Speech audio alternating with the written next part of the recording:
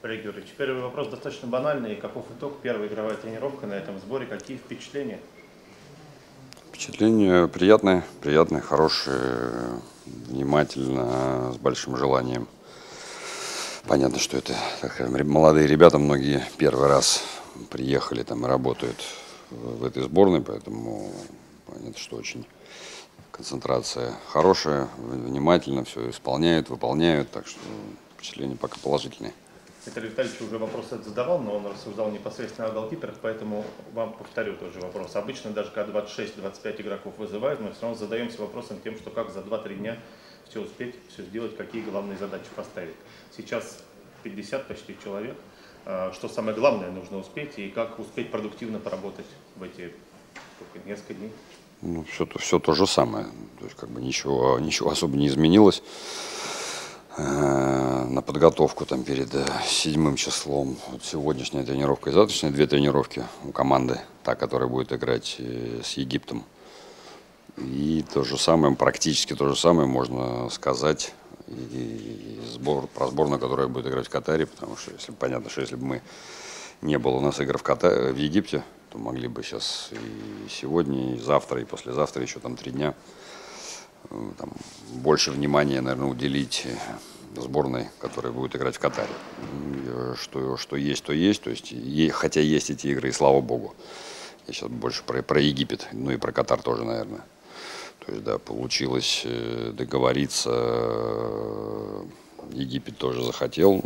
Да, для, понятно, что, и, наверное, для футболистов и для тренерского штаба больше просто-напросто работы, но на самом деле посмотреть то, что мы делали э, или пытались сделать в матчах э, после того, как нас отстранили от всех молодых ребят использовать и знакомиться с ними. Сейчас это возможно в рамках вот таких матчей, как это будет в Египте.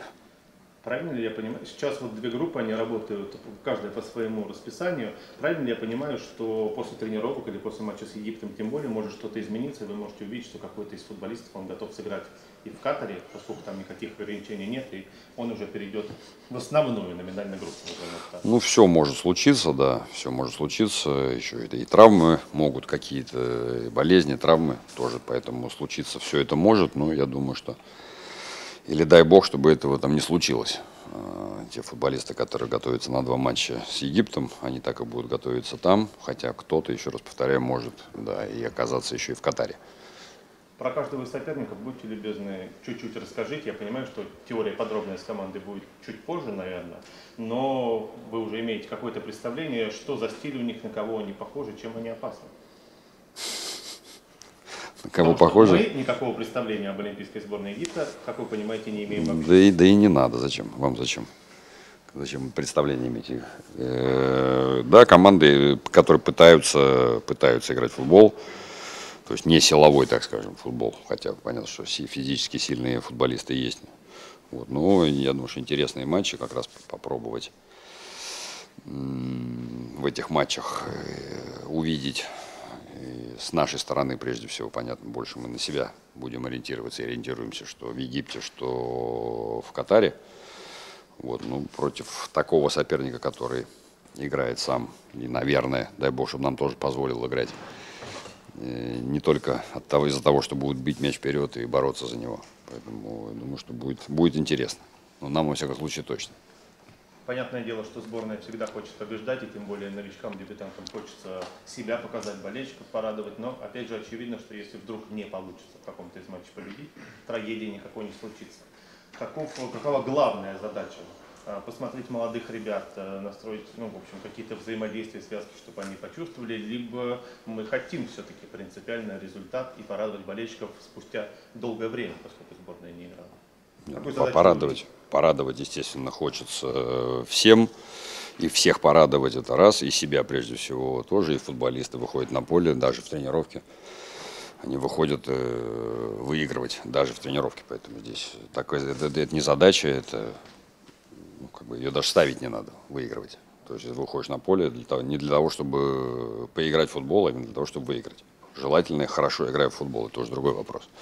Поэтому здесь задачи не, даже ставить до такой не надо. Она уже поставлена изначально людям, которые выходят на тренировку, задача стоит выиграть. Валерий Георгиевич, а расскажите, Скажите, а как удается поддерживать боевой дух и стимулировать игроков для игры в товарищеских матчах? Э, Да я думаю, как бы, я не, не вижу такой задачи, опять же, стимулировать игроков и поддерживать боевой дух у футболистов, которые приезжают за сборную. Ну, вызов в сборную это уже априори, это уже вызов. И понятно, что сюда дол- должны приезжать, во всяком случае, игроки, которых не надо дополнительно что-то как-то мотивировать еще. А себя? Вам нужно мотивировать? Нет, конечно, нет. У меня что себя мотивировать. Сначала даже 49 игроков, когда объявили, насколько вообще тяжело, вот даже два поля, две группы э, к этому, так скажем, тренеру самому. Да, в смысле, как определить, насколько тяжело? То есть, э, по какой шкале или как определить? Сложнее, тяжелее, ну да. Ну, как бы. Просто насколько сложнее, не знаю. Было бы проще, да, понятно, одну команду тренировать, э, делать одну теорию, а не две теории для одной команды, для другой команды, так скажем. Все, ну, все вдвойне просто делается, да и все. Ну, ничего страшного. Вы уже рассказывали о причинах невызова Шана Захаряна, они понятны. Но удалось ли пообщаться с ним после, вот э, там у него была игра дебютная, второй раз еще сыграл. Как-то, может, какое-то общение было? После игры дебютной не было, было до, до игры дебютной. После объявления списка, да, общались. И о чем, если не секрет? Ни о чем, как дела спросил. Не подсказывали ему про Реал Соседат, например? Просто не- Что именно? Не знаю, какую-нибудь внутреннюю кухню. Ну, он рассказывал, Внутреннюю кухню? Нет, там внешне там кухня, знаете, как хорошая. Рестораны хорошие. что Дмитрий Хохлов обещал ему помогать, сказал, что если что, пиши, звони. Ну там все расскажут и покажут. Но мы там не нужны для того, чтобы Как вы видите Про рестораны рассказывайте. логику матчей и вот этого сбора? То есть две игры с Египтом а, и одна основной сбор России. Вы бы вы согласились на это легко или вы хотели второго соперника для основной команды? Ну, искали, искали соперника для основной команды, да, так скажем. Назовем это основной, хотя я сейчас не, не хочу разделять на основную и не основную. Просто есть э, сборная, которая будет играть в Катаре, и сборная России, просто игроки 2001 года и младше. Ну, поэтому понятно, что искали соперника второго, помимо Катара. Ну, вот такой получился вариант э, с Египтом. М, Думать, ну, вернее, хотели, так скажем, мы бы хотели сыграть одну игру с Египтом, но они настаивали только на двух. Поэтому, поэтому так наслаивается 11 числа игра с Египтом и 12 уже с Катаром игра. Ну, давайте так, нам вы- выбирать нам особо не приходится, поэтому что было, то было, и слава богу. Я правильно понимаю, что вторым соперником, возможно, был Бахрейн? Там, насколько я знаю, там я всего не знаю, естественно, насколько я знаю, там много, много, несколько вариантов было. Но что-то почему-то там не срослось. Не ко, не ко мне вопрос. Ну, смысл? Мне вот голову забивать причинами зачем? Не, не получается, значит не получается. Ну, окей. Олег Григорьевич, ну вы уже сказали, что ты уехал. Можете Ну, сейчас объявят, да, Самвел? Объявят сейчас, ну, сейчас объявят все. Что таится? Расскажи нам. Я понял. Ну, просто я сейчас что-то скажу, а оказывается, это там не скажу про одну мышцу, а там другая мышца, например. Вы потом будете рассказывать. Валерий Георгиевич, э, Валерий Георгиевич, по Захаряну, если можно еще вернусь. А, насколько я понимаю, вы играли с нынешним главным тренером Реал Соседада в одной команде. Звонил ли он вам перед трансфером, советовался ли с вами Арсеналу? Нет, не звонил, никто не звонил. То есть вы никаких рекомендаций? Ни спортивный директор Роберта, ни Манол не звонил никто. Валерий Георгиевич, по Эдгару Селикяну он был в расширенном списке сборной, но в итоге принял решение выступать за сборную Армении. Общались ли вы с ним до того, как он принимал это решение? Не, не общался. А по Степану Ганесяну не было? Тоже не общался. А как отреагировали на такое решение? Вы же его давали в список, вызвали точнее, а он потом даже опубликовал сообщение. Ну и никак, ну нет, да нет. Ну что сделать? Может этот игрок э, такого потенциала потерь для сборной будущей? Неизвестно. Потеря или не. Ну, сейчас как можно об этом говорить? Но потенциал, допустим, Захаряна виден сразу. То есть, если бы Захарян выбрал Армению, это потеря для сборной, потому что он играл уже в основном составе у вас. Ну, одну А игру, од- играл две игры. Две игры он сыграл. Захарян, опять же, конкретно. Да. Ну, Севикян играл бы сейчас в основном составе, на ваш взгляд? ну, прямо сейчас нет. Ну, вообще тенденция на смену гражданства, когда вот там, Технезиан берет, там, Севикян. Вот как вы на все это вообще смотрите? Смотрю на это нормально. Ну а как? Ну, вы вопросы задаете, а вы бы что делали? То есть сборная Армении, допустим, если говорим про сборную Армении, еще какая-то сборная участвует там, в отборе. на Европу, в ми- на мир будет участвовать, наверное. Да? Ну, если у них такая возможность есть и желание такое есть, ну, нормально. Ну С что? человеческой точки зрения вы их не осуждаете. Нет, не осуждаю. Понятно, к чему готовится Египет, олимпийская сборная, они играют в Олимпиаде там, через год, да, к чему готовится, на уже перспектива этой команды, которая будет играть в Египте две игры. То есть что, что это за сборная?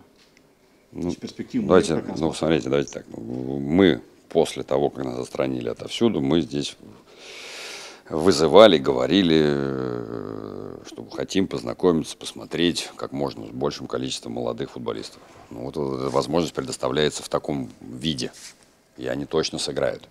То есть даже, даже тех молодых, которых мы вызывали э, до этого, и давали где-то даже какое-то игровое время, там, его, возможно, было не так много. Вот ну, сейчас есть возможность познакомиться э, не только в тренировочном процессе, а еще в играх с этими футболистами. Я думаю, что сборная, сборная Египта олимпийская, которая готовится, как вы правильно сказали, готовится э, к Олимпиаде, то есть это для наших футболистов э, этого возраста, я думаю, что это достойный соперник. Нет опасений, что дело может закончиться не очень хорошо в Египте. Потому что команда готовится к Олимпиаде, она сыгранная там, ну, я думаю, что будет серьезная проблема с точки зрения результата. Ну, посмотрим по игре, но если даже будут, ну что сделаешь? Если бы была возможность по времени, ну, там, условно говоря, если бы матчи не шли друг за другом 11 и 12, а если бы, допустим, 7 и 10, я правильно понимаю, что вы хотели во всех этих матчах а, поруководить командой? То есть 7 вы будете руководить в Египте, потом 12 в Катаре. Да. Хотели бы на всех трех матчах порулить? Ну и на четырех, и на пяти, если была возможность. И будет тренировка а, сборной России в Белокаменке. Я извиняюсь, если неправильно. Как вы к этому относитесь? Медийная активность, так скажем. Сбор, сборной, ну, промо, промо-футбола, э, Белокаменки, не знаю кого там, то есть как бы спросили, есть ли такая возможность. Сказал, ну, так как вот график составили, то есть, да, там 7 числа полетит, э, те, кто останутся здесь, полетят в Белокаменку. Ну, то есть это, по сути, полетят в Белокаменку тот состав, который будет играть в Катаре. Ну, по сути, да. Ну, Круто. По поводу сборной, по поводу перспектив, но разного рода высказывания. Александр Валерьевич мне говорил о том, что он надеется на скорейшее разрешение ситуации, о том, что есть пол- положительные тенденции, наши сборные разных сортов играют, Карасева вызвали на судейский сбор, но в то же время другие есть высказывания. Понятно, что, возможно, людей из других видов спорта. Вот Сергей Федоров, наш прославленный хоккеист, дал прогноз, что на 10 лет нас отстранили в футболе. Где здесь золотая середина? Как вы ее видите? Без понятия. Не вижу. То есть, ну, я не имею, представления не имею. Никогда нас вернут нас, и как, если вернут, то когда. Вы видите какой-то просвет? То есть какие-то обстоятельства как-то складываются так, что позволяет вам говорить, что там, через э, какая перспектива? Год, полтора, два, три? Ну, у меня нет данных таких.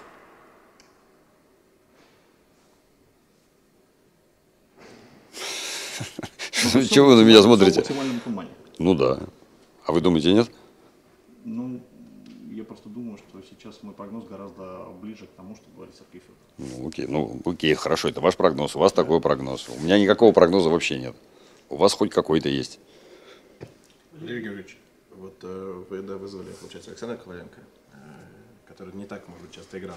При этом Михаил Игнатов, который показывает один из лучших стартов, наверное, с прошлого, по сравнению с прошлым сезоном, уже 5 активных действий. Рассматривали вообще его, и почему, например, не он, а почему не он, а Коваленко, который меньше играет? Ну, потому что Коваленко, мы уже, еще раз повторяю, за Коваленко, уже мы, мы с ним знакомы, уже были, да, при том, что он не так сейчас много играет, или вообще не играет, можно сказать, там, практически в «Зените», то есть, ну, возможности мы его знаем, и уже знакомы с ним, то есть, и времени, как вы и сами сказали, времени на адаптацию, на тренировки, как обычно, нет, поэтому, ну, что просто с ним будет проще. А почему э, рассматривали вообще Игнатова? Послушайте меня, мы рассматриваем всех российских футболистов, которые хоть на замену даже выходят, мы их рассматриваем всех абсолютно. Потому что не так их много. Олег Григорьевич, когда были предыдущие сборы, вы говорили, что был разговор у вас с Зобниным, который попросил его не вызывать сборную. С того момента были ли у вас новые разговоры и поменялась ли как-то ситуация? Нет, больше не было разговора. Ну, сейчас, наверное, все мы поговорили, все, все решили, все поняли. Я думаю, что сейчас, если, если бы были какие-то изменения, наверное, сейчас он, наверное, уже тогда должен был бы поставить в известность. То есть Я вы- так думаю. То есть вы какой-то запрос ему больше не отправляете, вы ждете какой-то реакции от Романа, Ну да, что ну да. Я готов. Ну, мы поговорили, все, о чем мне каждый день разговаривать, не изменилось ли там, появи- появилась ли возможность. Ну, смысл. Вам удается переключиться Да, с дел клубных? Да, Ну, конечно. Насколько я понимаю, после игры с Динамо вы поехали на поезде 16 часов. То есть ни, ни одного выходного у вас нет. И не будет. Но все равно и как вы это выдерживаете? Ну, как видите, стою здесь, ничего, живой. Как? Но сколько, сколько матчей тура вы смотрите? То есть сейчас какая ситуация в сборной? Вы э, совместитель, э, Николай Николаевич тоже совместитель. Кто в данной ситуации смотрит все матчи, кто формирует тот список, который мы увидели? Юрий Валерьевич, во-первых, смотрит там вживую то, что можно увидеть вживую, смотрит вживую. Плюс есть видео все. На видео можно увидеть практически то же самое. Тем более технические камеры. Э, В лиге есть технические камеры, все это видно. Даже лучше, чем на поле, если честно. Вы все 8 матчей тура? Нет, а, конечно. Нет, конечно. Ну, три матча максимум. Ну, помимо, Рос- помимо Ростова, естественно. если не сказать, как происходит выбор. Там, где больше сборников? Да. Как отреагировали на то, что Николай Писарев в Краснодаре 2?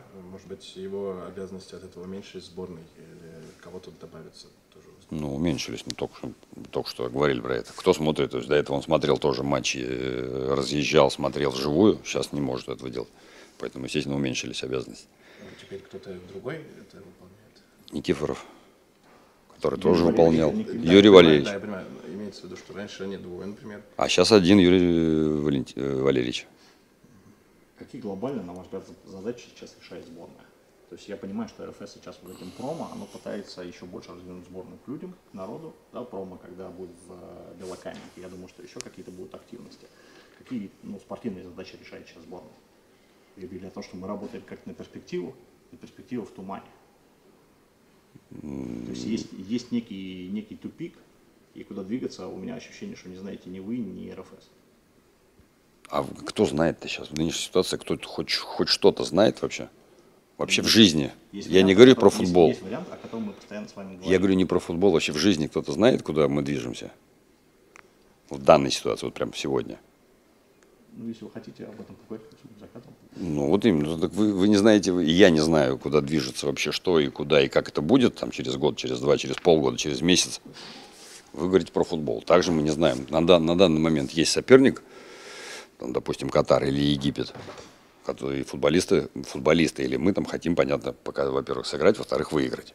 Все. Вот на короткую перспективу, на ближайшие там пять дней, или сколько сегодня число? Чемпионат. На 7 дней. На ближайшие 7 дней понятная перспектива абсолютно. Ну, то Готовиться есть, к матчам. Ну, то есть сейчас мы можем сказать, что для этой сборной, а, в каком бы составе она ни называлась, главная победа. Это в том числе и для команды, которая будет играть с Египтом. Давайте так, гла- главная победа, ну, не победа любой ценой. Что значит главная победа? Любого футболиста, спортсмена, даже не футболиста, который соревнуется, он хочет победить. Будь то шахматы, будь то хоккей, будь то, там, не знаю, гандбол. Любого спортсмена.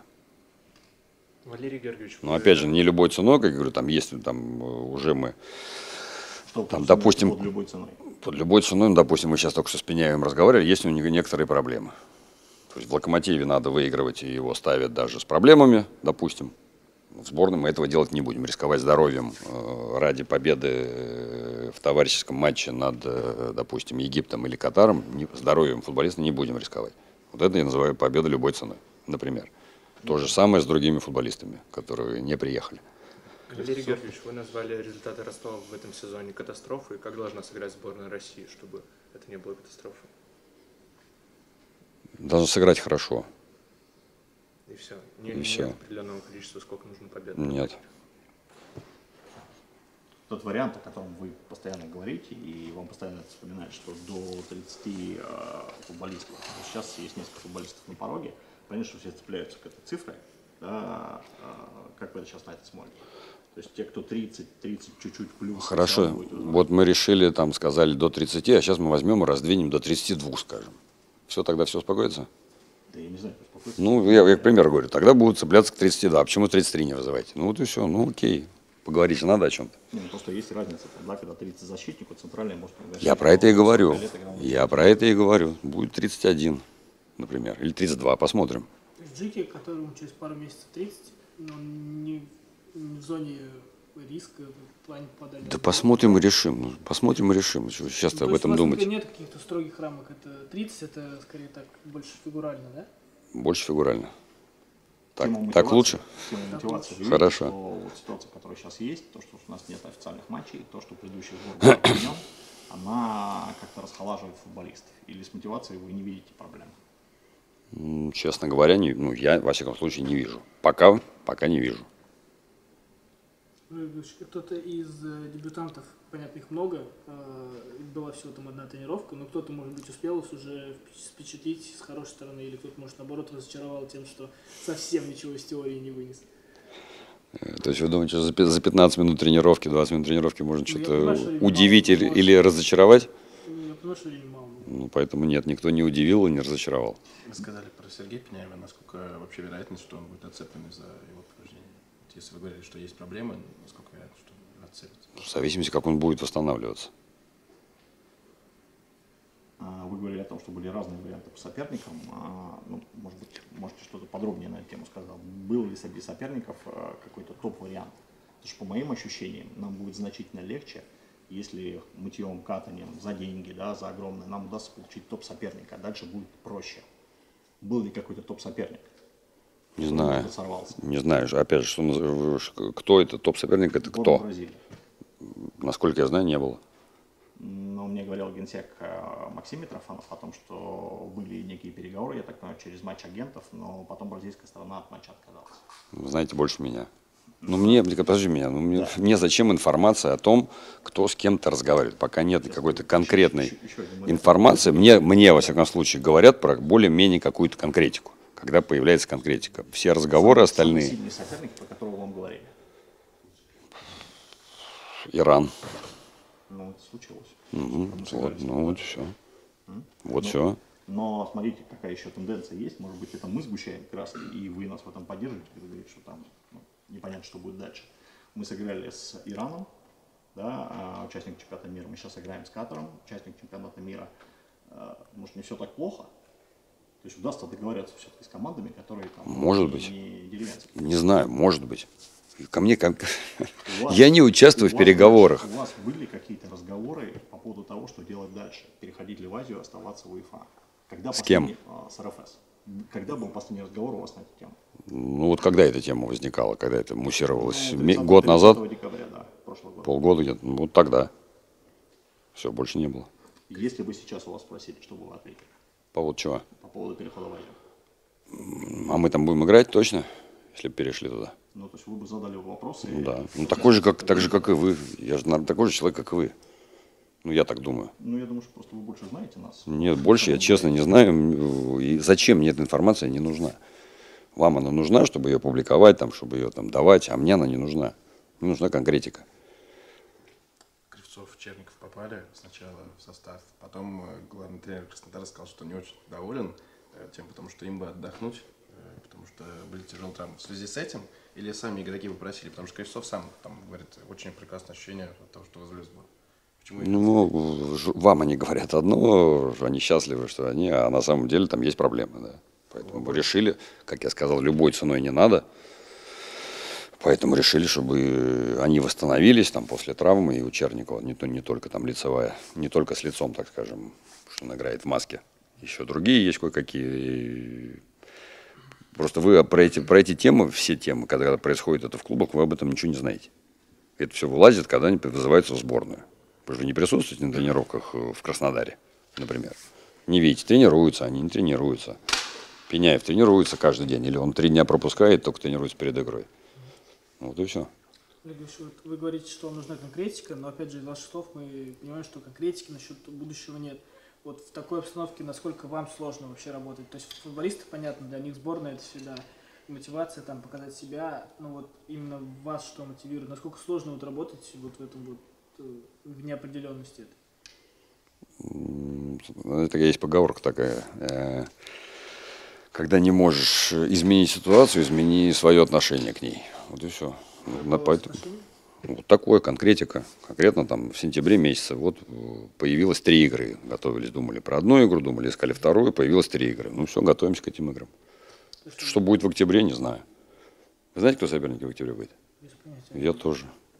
Александр Головин доехал наконец для сборной как-то с особенным ощущением. Может быть, его встретили, ведь э, сейчас можно говорить, наверное, что это сейчас главная российская звезда, если европейского. Из-за этого, что мы его стартом должны встречать или что? Просто он давно не был в сборной. Как Ну, в целом. на- ну, как обычно. Важный момент. Э, Я правильно понимаю, что этой, этой игры не будет в реестре FIFA? Без понятия. У вас были сложности с а, привлечением ну, футболистов? Вот, Головина, Миранчука?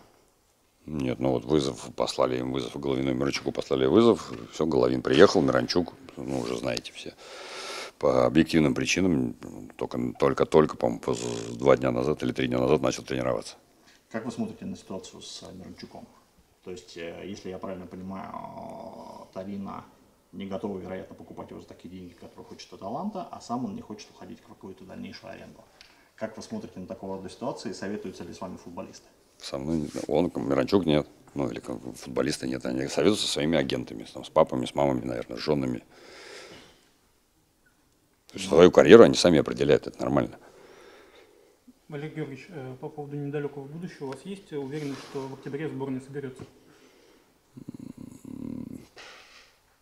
Ну, думаю, что да. Надежда есть. Уверенность, конечно, я на сто процентов уверен. Ну, я думаю, что да. То, как, то, как начал а, Кузяев а, во Франции, вас удивило? Нет, почему? Ну, очень ярко. Ну, ну, не удивил, а почему должно удивлять? Ну, человек забил два гола, если не ошибаюсь. Ну, и замечательно. Ну, замечательно. Как-то обсуждал с вами вот это продолжение карьеры, что Нет. не самый. А как вы вообще оцените такой его переход? Э, Ну, для него самого. э, так Давайте так, ну, давайте ему уже не 15 лет, по-моему, да? Ну, 30. Ну, давайте ему 30-летний мужчина может сам определить, что ему нужно в его карьере, что, что не нужно.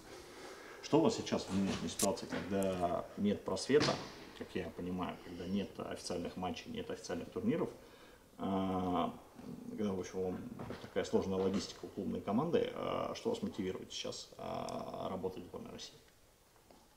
Сборная России. Ну что именно? Престиж. При- Сборная России, да, это сборная России. Ну, мне кажется, это- этим все сказано. По поводу Кузяева тоже правильно? Да ладно, что пускай задают. Лучше, лучше пускай здесь зададут сейчас все вопросы, и все, и Правильно понимаю, что пускай задают.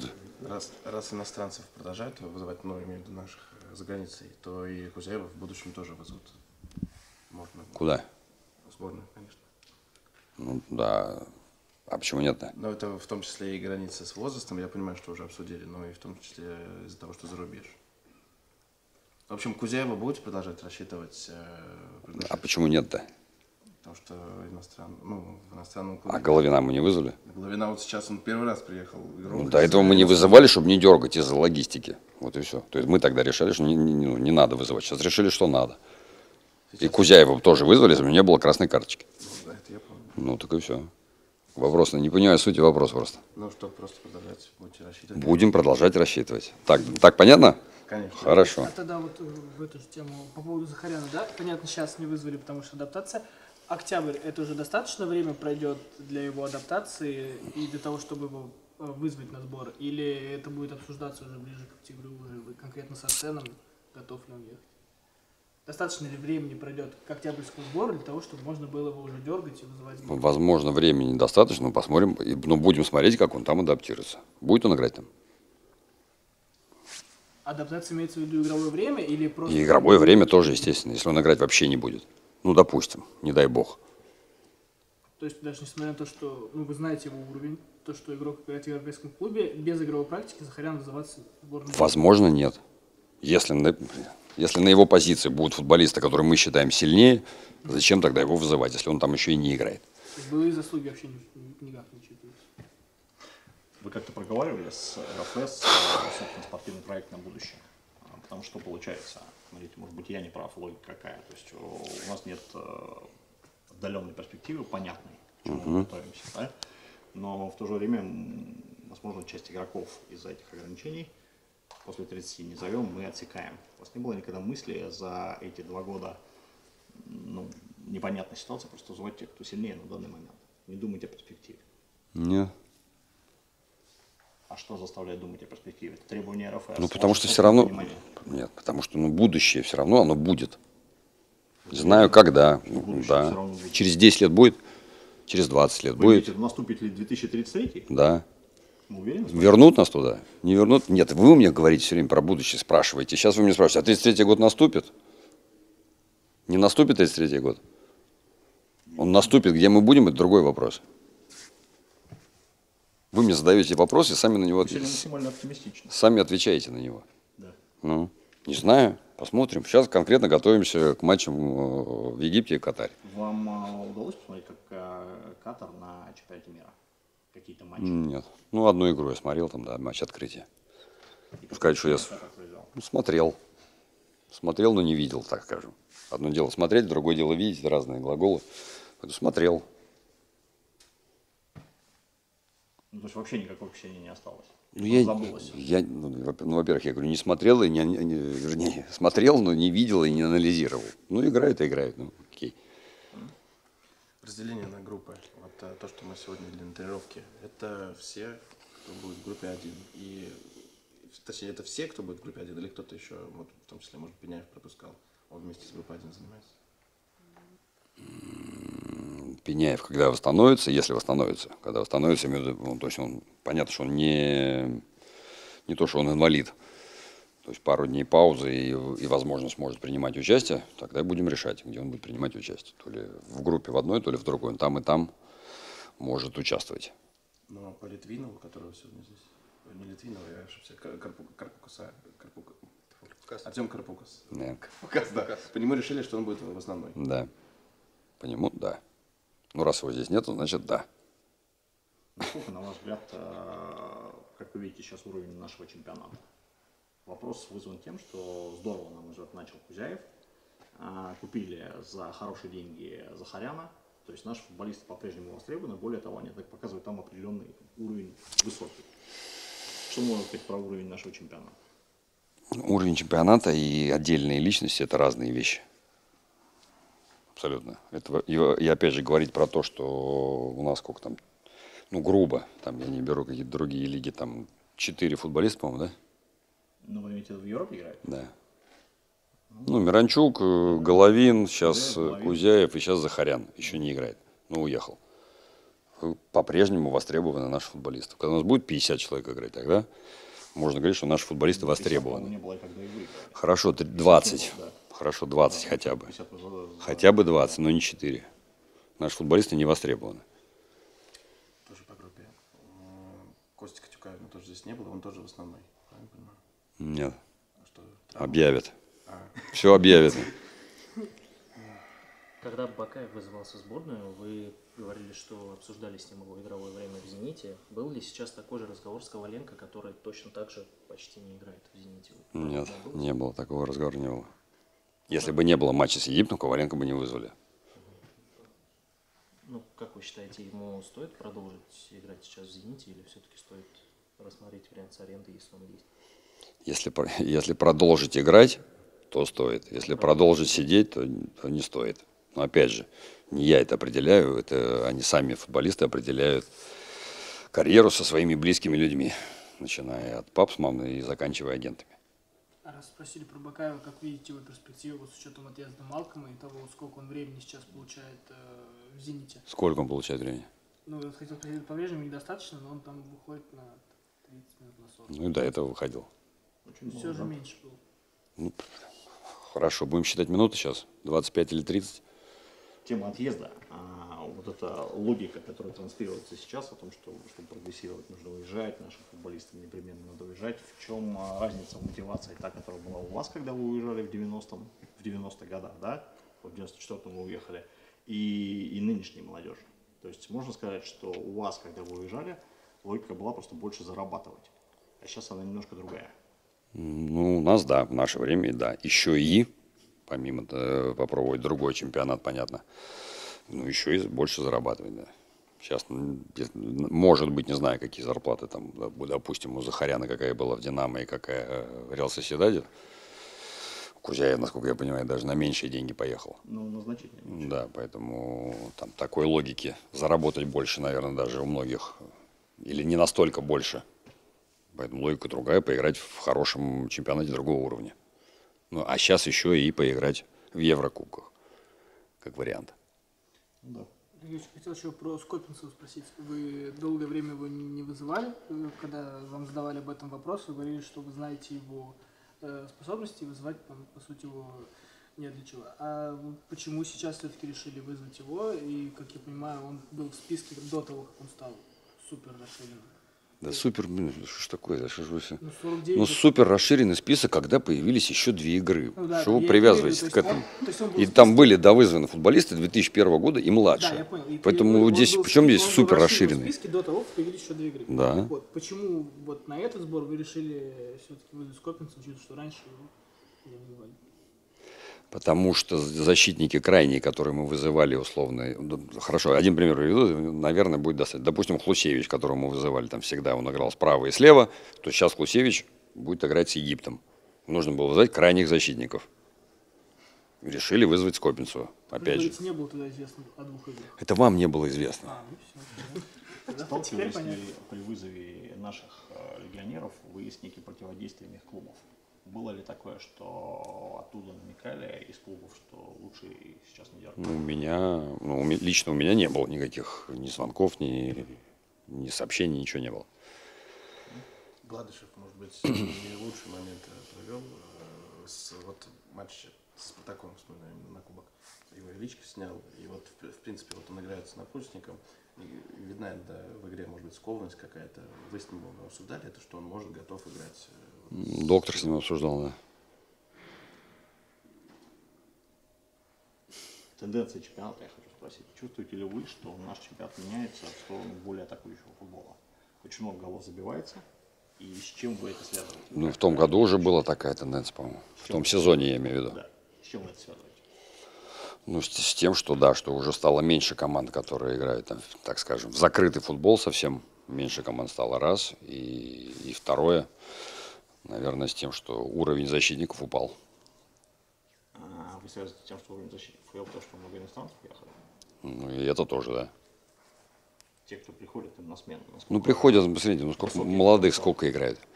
Молодые, естественно, там, особенно защитники, если там нападающий ошибся и не забил, ну, про это все забыли. Ну, и ничего там не, решилось. Молодой защитник ошибся, заби- забили гол, поэтому много голов. Поэтому не только, не только там уровень нападающих повысился, допустим. Уровень, может быть, нападающих остался и на том же уровне. А там уровень защитников стал ниже, поэтому много голов.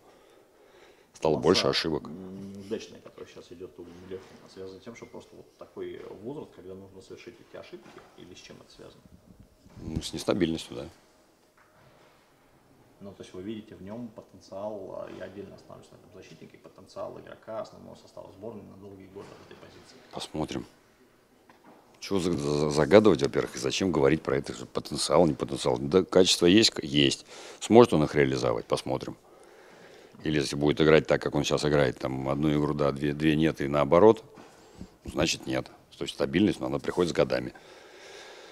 Вратаре вообще говорят, там, к 30 годам они только начинают нормально играть. Стабильно, я имею в виду. Несмотря вот на отстранение, вы следите, может быть, за европейским футболом, учитывая, что... Я имею в виду просто, что вот не Еврокубковый сезон стартует, там, групповой этап всех Еврокубков определился, может быть, что-то интересное, и в том числе группа Реал Соседат с Арсеналом. Ну, уже следите ли за европейским футболом? Ну, за Европ- ну как, как обычно. Ну, как бы, очень, для, что изменилось-то? Ну, Мало ли, как-то иногда кто-то вот говорит с футболистов, понимаю, что главный, но что все уже. Ну, Ну, ну, ну, если, значит, им не интересно, ну окей. виду Я ж, я следил не, не потому, что мы играли в Еврокубках, хотя мы с там один раз сыграли за 6 лет, что я не следил за европейским футболом. Ну, как бы у меня ничего не изменилось. Имеется в виду вопрос, насколько я понимаю коллегу, что когда мы не играем второй сезон в Еврокубках, интерес падает к этому соревнованию, если, если нет противостояния наше, не наше. Ну, у болельщиков, да, наверное. А, ну, и давайте так, я же не смотрел футбол э, европейский, как вы его называете, или европейский, там, ан- английский чемпионат, потому что мне интересно за кого-то болеть. Я же не поэтому смотрю. То же самое, как и Еврокубки. 9 числа будет матч в памяти Цимбаларя. Э, Если я правильно понимаю, вы в этот момент будете здесь на сборах. Мгм. Вы вернетесь из Египта, вы будете участвовать? Нет. Не звали, вы сами не хотите? Или, или Да некогда, некогда. Ну, некогда. Ну, у нас две тренировки, во-первых, на следующий день тренировка, потом вылет. Ну, ничего, разорваться, что ли? А когда футбол, ну, каким вам запомнится Цимбалай? Какая-то памятная ситуация, история, если коротко не вспоминать. То одной памятной, наверное, нет ее, одной только. Там, э, с Илей много, много всяких ситуаций было разных. И, ну, в большей степени, естественно, вспоминается там, смешных. Понятно. То есть прикольный был, так скажем. Ну, из того, что могу поставить что какой-то анекдот, Да постоянно, ну, одесский юмор у него вот это постоянно, прошу, то есть одного не вспомнишь, то есть это э, человек юмор.